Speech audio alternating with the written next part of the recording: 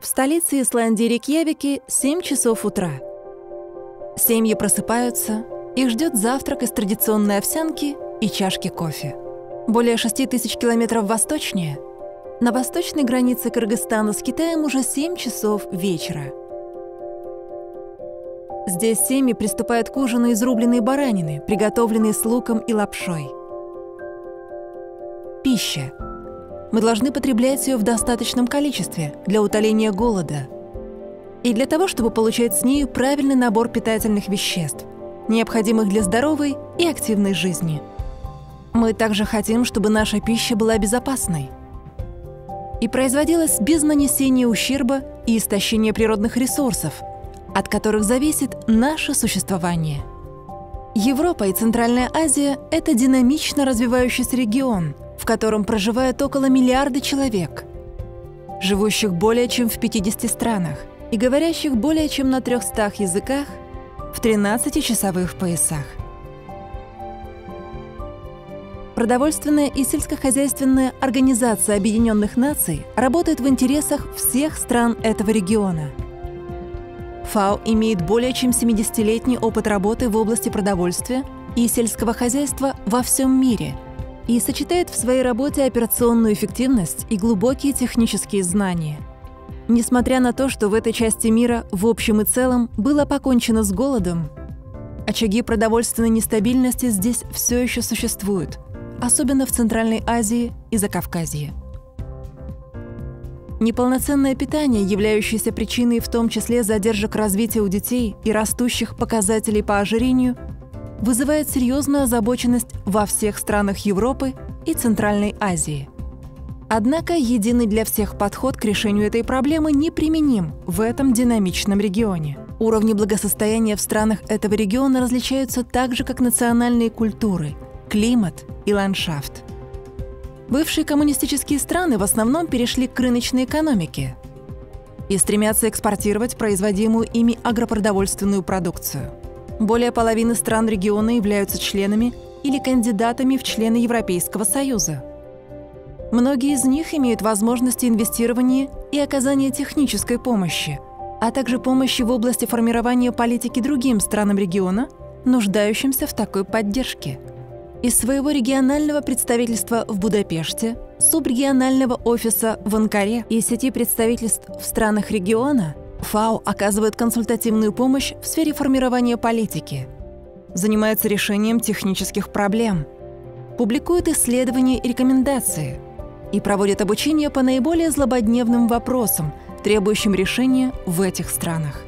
От борьбы с болезнями животных в Грузии и Таджикистане до оказания консультативной помощи Украине в проведении реформ в сельскохозяйственной отрасли – от повышения уровня осведомленности об опасности пестицидов для здоровья детей и оказания помощи странам в избавлении от запасов просроченных пестицидов до привлечения внимания к гендерному неравенству в области доступности земель и кредитования.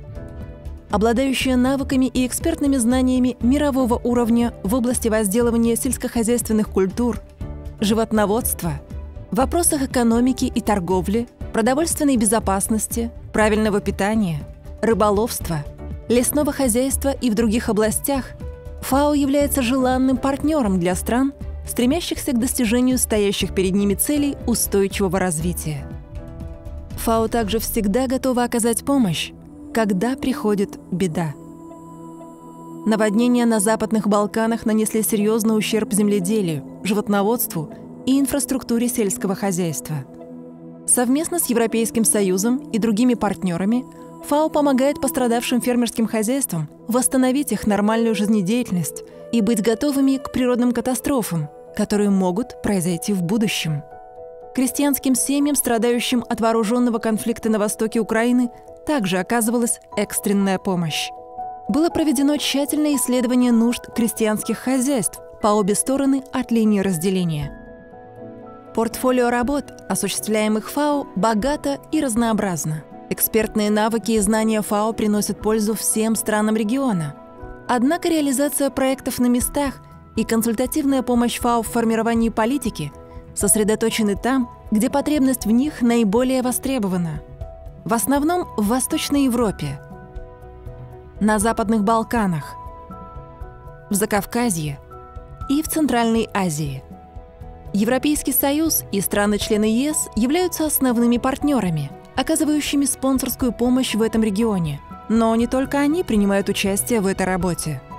Правительство Турции, Российской Федерации, Финляндии, Швейцарии и других стран также присоединились к оказанию помощи своим соседям в преодолении последствий природных катастроф, в строительстве жизнеспособной сельскохозяйственной отрасли и развитии более устойчивых продовольственных систем. В Таджикистане, Турции и Украине ФАО руководит реализацией крупных проектов, финансируемых Глобальным экологическим фондом, или ГЭФ. 7 часов вечера в Будапеште. Персонал представительства ФАО работает допоздна – Взяв свои чашки с чаем или кофе, они собрались в конференц-зале. Возможно, они занимаются разработкой учебного онлайн-курса по вопросам торговых разногласий, готовят проведение открытого тендера на поставку семян и удобрений или планируют кампанию по повышению уровня осведомленности об африканской чуме свиней. В чем бы ни заключалась насущная проблема, эти люди уверены в светлом будущем региона Европа и Центральная Азия – по мере того, как страны региона внедряют методы ведения более устойчивого сельского хозяйства, более разнообразную диету в целях обеспечения полноценного питания, снижают уровень потерь и отходов в производственно-сбытовых цепочках продовольствия, устраняют последствия ущерба, нанесенного экологии, и становятся более конкурентоспособными в области производства и торговли агропродовольственной продукции, они приближаются к достижению своих целей – и организации здоровой и безопасной с точки зрения продовольственного обеспечения жизни для настоящего и будущих поколений.